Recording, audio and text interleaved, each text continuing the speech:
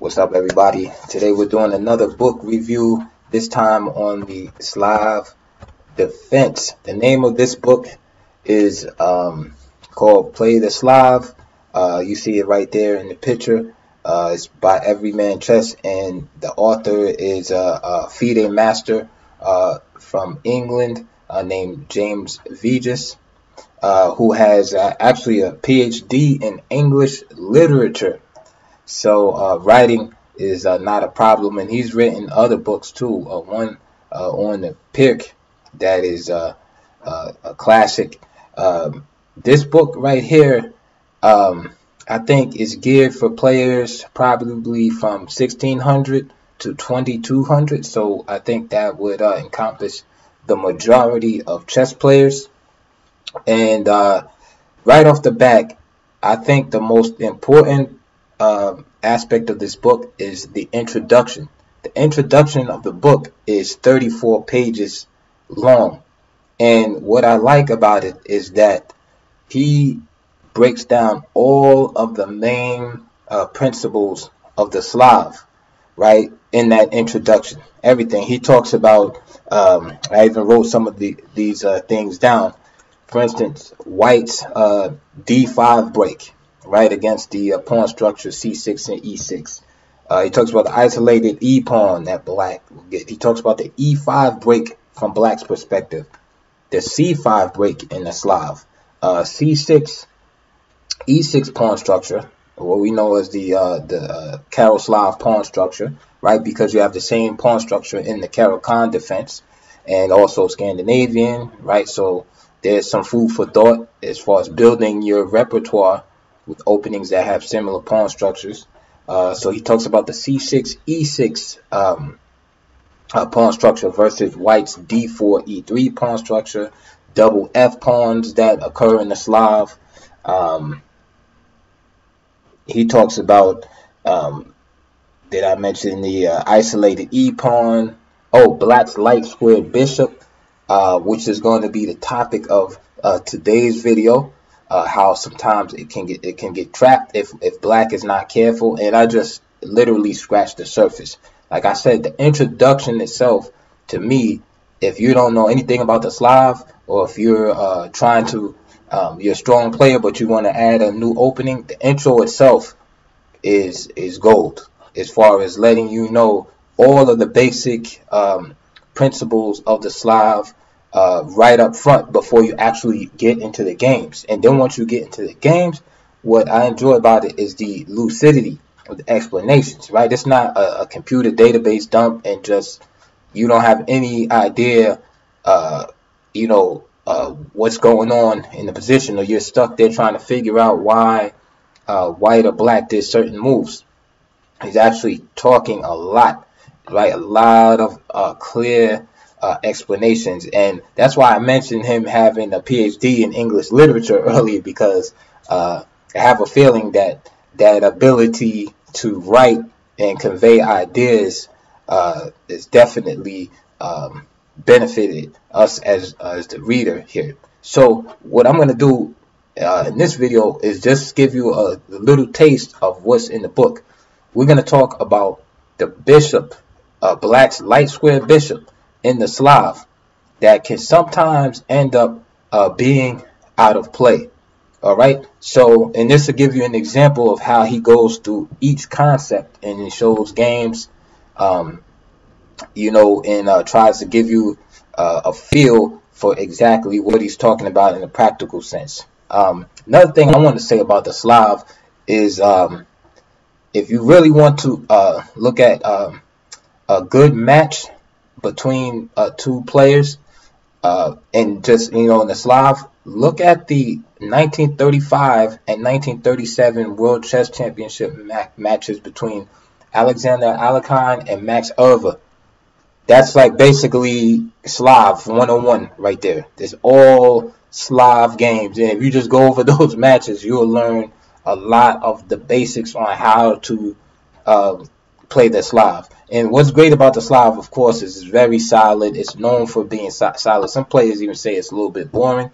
Um, but yeah, all uh, you know, a lot of not all of the world champions, a lot of great players have played the Slav at some point, whether it's Kramnik, uh, Smyslov, Euwe, Alekhine, what have you, have all uh, played the Slav. What I do want to say too is in this book is that he recommends this line um, called the Sokolov line, which is seven knight bd7 as opposed to queen c7, which is also very sharp. So he has like um, you know particular uh, way that he wants you to play, and also he has like an exciting line um, to kind of spice up the exchange variation in the Slav because a lot of people don't like that drawish, uh, seemingly drawish variation if they're playing black, right? They try, they want a chance to win as black, and you know, white comes and just plays exchange variation, everything's super symmetrical.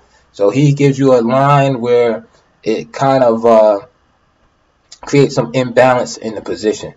All right, so there's a lot to say uh, say about the book. Um, I suggest you go uh, click in the links below. I placed the book there. Like I said, if you get it from my channel, it def it will support uh, my channel. You know, so I do have links below so that you can check it out. Donation links, of course.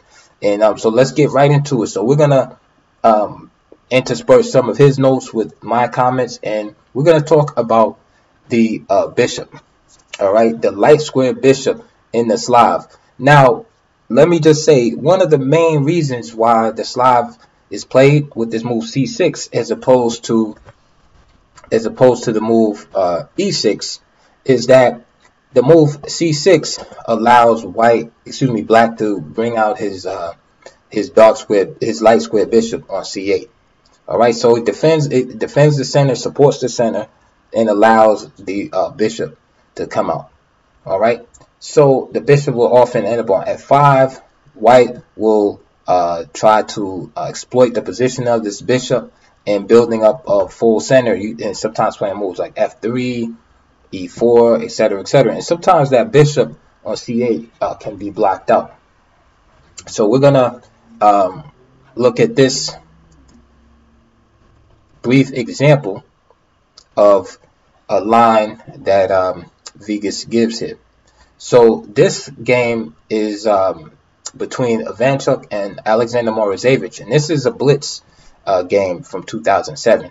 So just check it out real quick. So we have d4, d5, c4, c6, Slav, knight of 3, knight of 6, knight c3, d takes a4.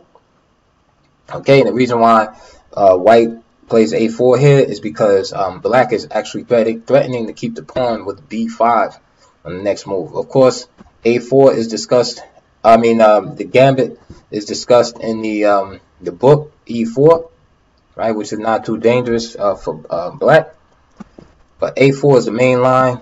Then black plays bishop uh, f5. Notice that with the pawn also on uh, c4, white cannot play queen b3 attacking the b7 pawn e3, e6, bishop takes c4. So the trade-off has been made. Black uh, gets his bishop outside of the pawn chain. However, he loses uh, some influence in the center, as you can see, by trading uh, his d-pawn for white c-pawn.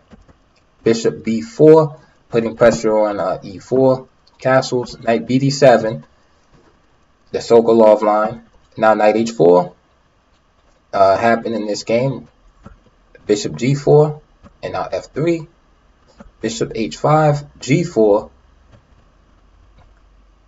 knight b5, and you can see the attack here, right on the, um, the knight. Knight g2, bishop went back, knight e2, bishop e7, and now e4, so you can see white's center um, being pushed forward. Bishop b3. Now a5 to maintain the knight on um, the b6 square. Okay, and now knight c3. And now Morozevich castle, which was a mistake. Here, black should play the move c5. Okay, and it's according to uh, Vigus that um, it, it um, ensures that the bishop on g6 will be able to get back in the game. All right. So, for instance, c5, bishop e3, c takes, takes, and now e5, bishop e3, then h5. All right. And say, for instance, f4, um, h takes g4, and queen takes g4. Okay, and the bishop still has a chance to get in the game via h5. So after castles from Morozevich, f4 happened, h6, f5, e takes, g takes, and bishop h7, knight f and knight f4, and he stopped it right here. So the bishop uh, remained locked in, and that was it for the for the remainder of the game. So he stops here to just let you know what can happen to uh, that light square bishop. So now we're gonna go um, to the next to the next game. So here is uh, uh, Topalov uh, Topalov Kramnik from the uh, World Championship game in 2006. And now you're going to see the same line. So we're going to just speed through that. Here you have 90, 95 here. Of course, the ideas are the same. F3, E4, hitting the bishop. E4, bishop G6. Bishop E3, C takes, queen takes. So we go right into this endgame. Right, Kramnik kind of playing like a like almost like Berlin defense with against D4 also like these you know Kramnik was uh, you know loving these these uh, complex middle games right? Getting the queens off the board and just playing these endings with the black. So he did the same thing with the white pieces right? With the Berlin Wall. Bishop takes c4 a6 king e2 rook g8 and you'll see the purpose of rook g8, which is pretty cool. Um, rook h d1, rook c8, hitting bishop b3, bishop c5. Now a5, king e7, knight a4, bishop b4. Okay, now the knights get exchanged. And now f6. And so this is the whole point of the move rook g8. The reason why rook g8 was played was to free the uh, dark square bishop so that that bishop could come out to uh, c5, all right, which in turn allowed the move king e7 and then f6, and now you can see uh, black's bishop can come from g6 and come back in the game via e8, all right, and then black wound up drawing this game. So he doesn't he doesn't go through the whole game at this point, right? This is just an introduction, okay. So going back, again, you can see the bishop is, is kind of, the light square bishop that is on g6 is kind of shut up. And now you see this move, rook g8. Notice how, oops, sorry about that. Notice how rook g8, right, protects this square from this guy. Right, which allows this guy to come out here. That's the idea. And now you can see it. F6, and now this guy can come here and you know get back and get back in the game and again they wind up uh, drawing all right now we're gonna get to our, our final example we're gonna get to our final example and we're gonna go through this game quick but this is on the same theme and hopefully like I said you get a, a, a idea of how he goes through these different um, principles of the Slav defense. So this game is between uh, Boris uh, uh, with the white pieces, whose picture you see in the video, and uh, Ivan Sokolov, who he bases, who the author of Vigus bases the repertoire on, and that's why you see this this move, uh, um, not Queen C7 in the Slav, but knight this knight BD7 instead. So Sokolov has the black pieces. Okay, so again, we're gonna just speed through the opening. 94, 87, knight takes C, uh, C4, knight B6, 95, A5, okay? Making sure that this knight uh, is established there, all right? G3, 6, bishop comes out. Again, like I said, we're to get right to the point here, H6, knight D7, and there's E4, so white is like, real solid. 8, d6, f4, f5. And also, you might notice there's maps on the screen. This game took place in Izmir, which is in Turkey. I, I had actually looked that up. And what I also found out is is uh, that is the the same as the ancient city of Smyrna. So it's basically like an open air museum out there. So so many things happen in that area, buildings, structures, etc. So if you like like the religious history and even like you know uh, you know apostles, you know like uh, being in uh, Smyrna, also like Alexander the Great uh, took over after after the Romans. So a lot of history in that area. So the ancient city of Smyrna is Izmir, which is in Turkey. So you see on the map, and this is where this game took place in Europe, European Club Championship in 2004. So there goes a little geographical and historical tidbits for you. So here F5 was played. Okay. E5, bishop c7. So now we're in the same situation that we spoke about. Look at the light square bishop of, of black. Knight c1, knight b6, knight d3, rook e8, knight c5, rook b3, knight b4. And this is a long game, but I'm just emphasizing um, what we're talking about about this light square bishop. Pieces come off. So again, these are the type of positions you'll be in sometime in the Slav. Solid, but sometimes you'll be under a little pressure. Okay? From white. And that's what you see here. But notice, this light square bishop. Now it's on d6. Right? Because it's important to have all your pieces involved in the game. So, with f5, it guarantees that this bishop will not be shut out the game the queen c4. So, of course, now Vigus says here if um, White knew like what would happen in the future with this bishop, he probably would try to restrict it a little more. Say by playing a move like bishop f3, right? Queen e8 at h3. And so you can see, and of course h3 is in case um, uh, black, uh, you know, to prevent black from playing bishop h5, of course uh, queen e, I'm sorry, queen e2, queen e2, uh, f3 and h3. You know, to keep keep black from being able to uh, play that. You know, keeping this bishop restricted. However, what he did is he played queen c4 here. Okay, and this allowed bishop h5, rook c1, king h8, king f2, bishop d8. And again, you can see this bishop ready to spring into action.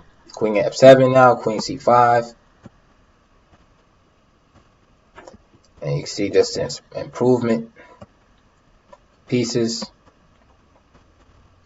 Okay.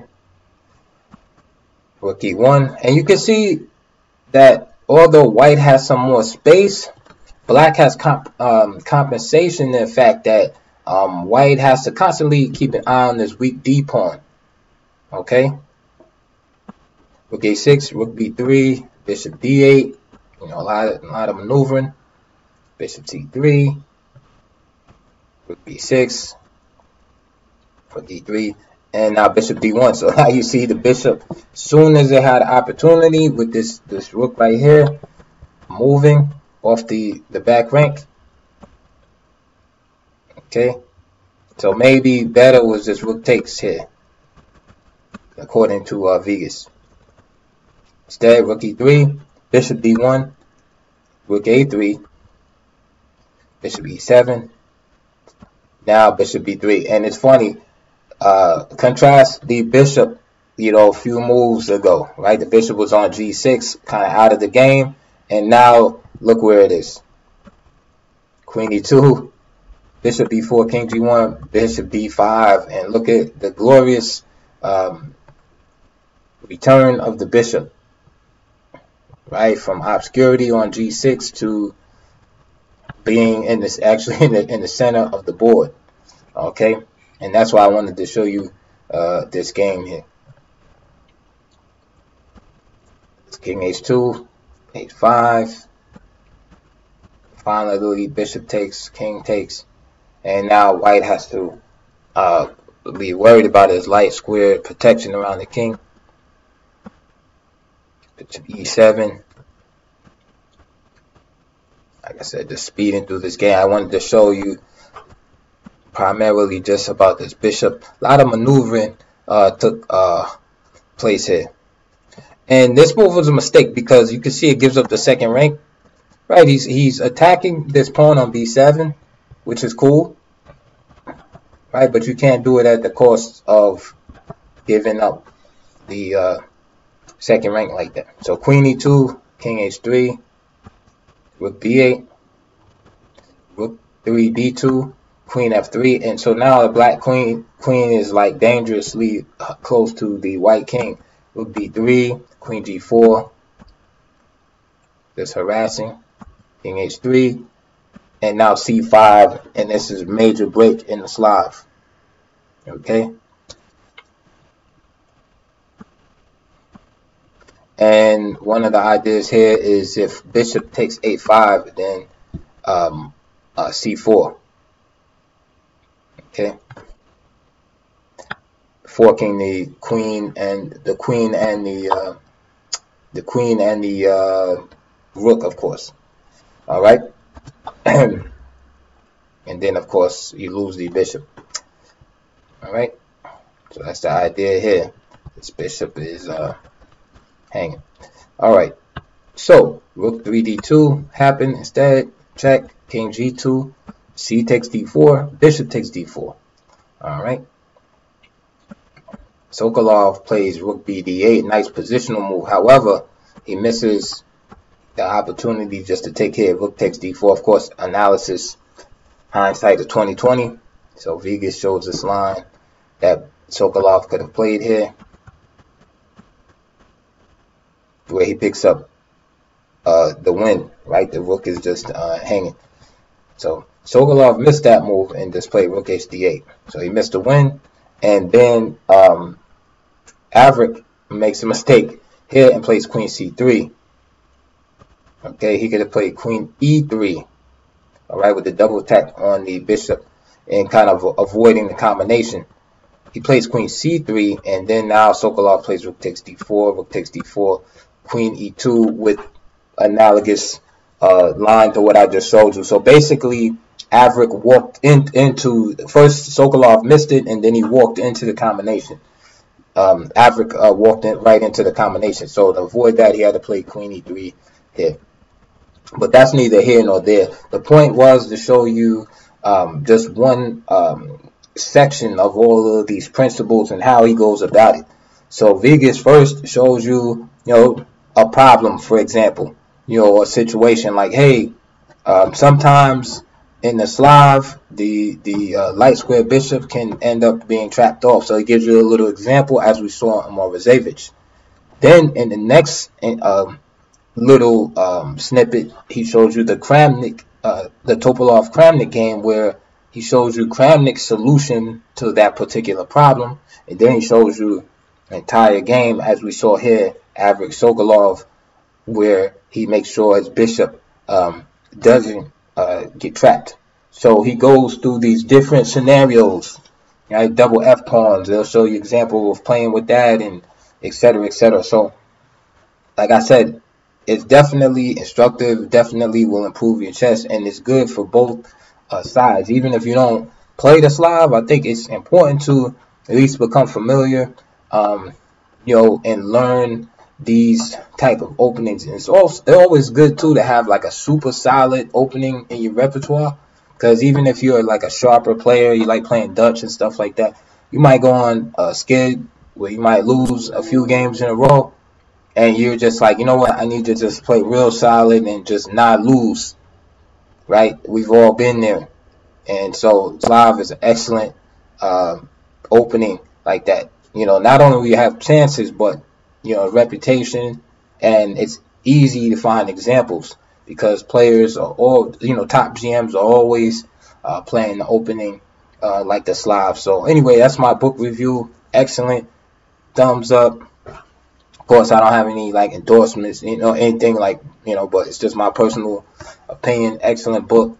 And um, you know, I, like I said, if you want to get it, just go on the link link below and get it from there. Help my channel. Even if you don't get the book, please donate to my channel, support my channel, enjoy the videos. Thank you for uh, watching. Um, And uh, any questions or comments, hit me up in the links uh, below. And I'll see you guys um, soon on the next video.